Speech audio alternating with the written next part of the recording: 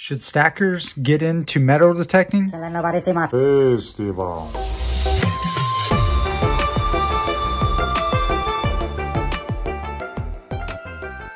Pick up another one of these. Same one that I bought from uh, last week. 1955 Cinco Peso. This one's actually uncirculated, as said in the listing. What is up, you guys? I hope you guys are doing great. It's Poor Man Stacker here. And uh, yeah, the thumbnail is correct. This is what I'm going to be introducing to this channel.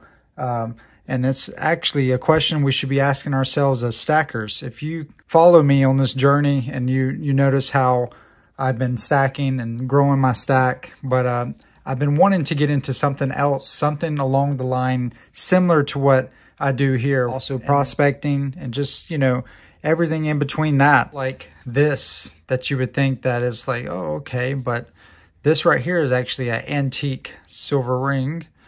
And uh, that's actually something my wife bought. But uh, yeah, I want to be able to find stuff like that. I want to be able to to hunt and and maybe find treasure. Who knows? You never know unless you try. And and I wanted to ask the question, you know, something that you can ask yourself, you know, you know, why do not stackers get involved in metal detecting? And uh, I've been really wanting to be able to do a activity, you know, to get involved in something, you know, something that can be kind of rewarding.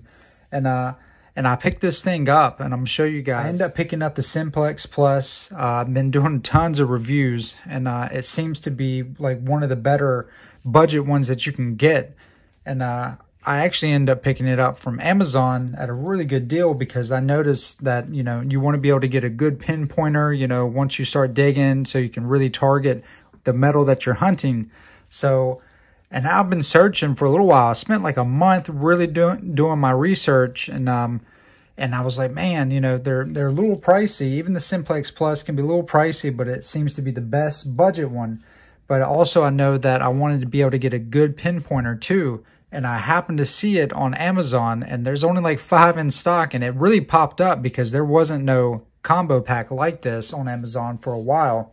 So I went ahead and picked it up uh, beginning of this month, really.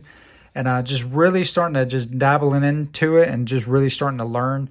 Uh, there's a lot to learn with it, but I mean, really, it's it's it starts getting simple as you use it. And um, very fortunate that I'm able to try it out at my mom's uh, husband's house, my stepdad's house, and uh, he's got you know land and stuff like that. He's got a little bit over a hundred acres, and I'm able to just you know, get out there and just mess around. It, really farmland and stuff like that. But there is a trail that used to go through there and they used to use wagons. And I'm like, man, this is awesome.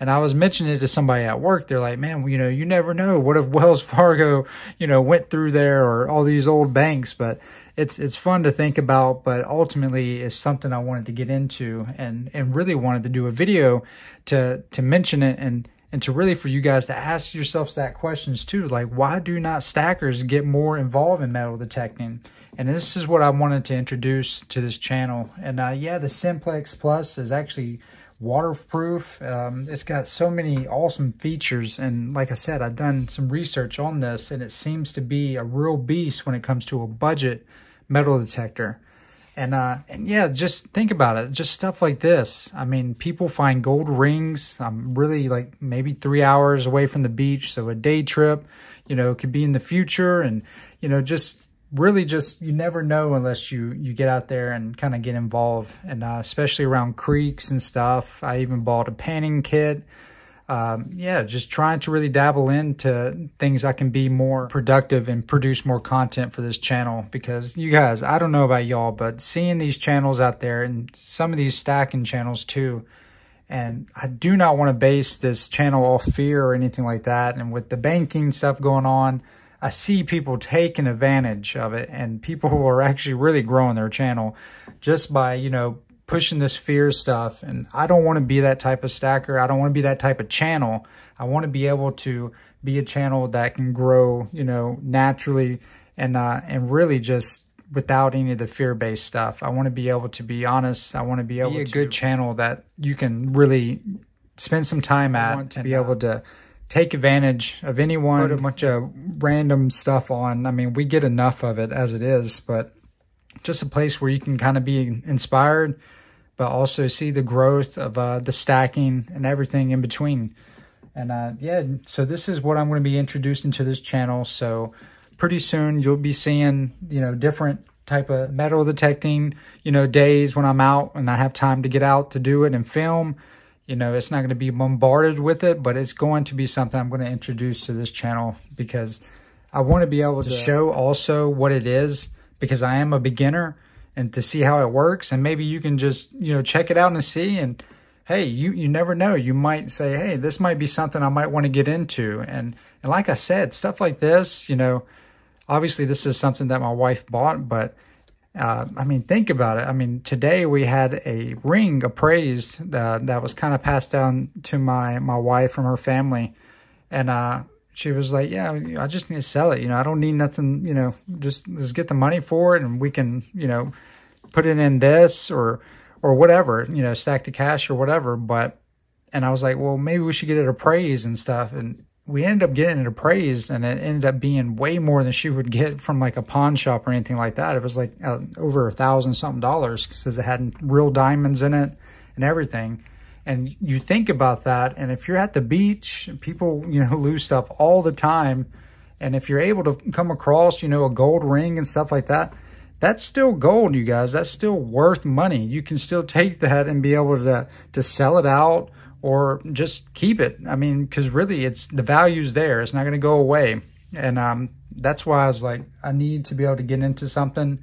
I wanted to get into something cool. I've seen other channels similar, well, actually a bunch but yeah, man, they found some really cool stuff and you just never know. And I thought that it'd be a cool hobby to get into.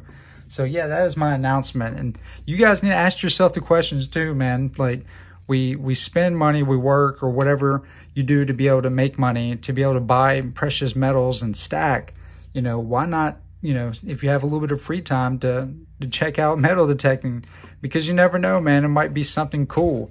And, uh, you know, you never know what you might find out there. I think it'd be awesome to be able to get a hold of some, some, you know, old uh, constitutional, you know, who knows? The sky's the limit, but you'll never know unless you, you explore it and try it. But uh, yeah, you guys, this is all I got for today.